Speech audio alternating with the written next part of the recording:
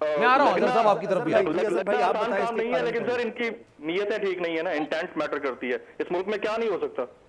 नहीं नहीं आप ठीक कहते हैं लेकिन समझना है कि इमरजेंसी के लिए ना इन्होंने हालात पैदा किए थे वो हालात उल्टा इनके गले पड़ चुके हैं। और खास तौर पर जब आईनी प्रोविज़न 232 से 234 तक देखें पाकिस्तान का बहुत रोल है। अगर इन्होंने करना है तो फाइनल अप्रूवल सदर पाकिस्तान की तरफ़ से आनी है। और सदर पाकिस्तान इन हालात में ऐसा हो सकता है तो हो जाएगी ना भाई वो।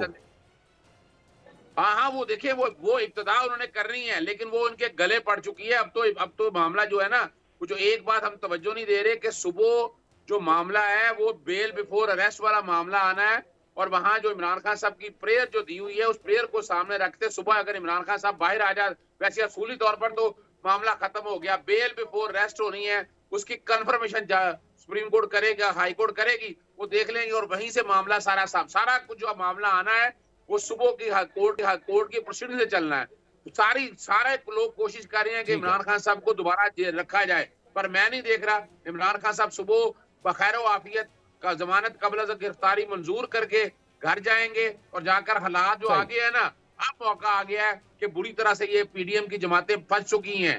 अब ये अब जो ये मामला इमरजेंसी हम्म।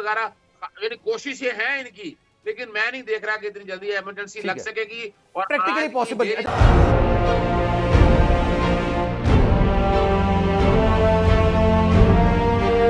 अदालती अहकाम के बावजूद कराची में शेख शेख के घर को गैर कानूनी तौर पर मिसमार कर दिया गया है। बोल के खिलाफ इंतकामी कार्रवाइयों में तेज़ी कराची में को चेयरमैन शुएब शेख का घर गिरा दिया गया। इंतकामी कार्रवाइयों का सिलसिला जारी है।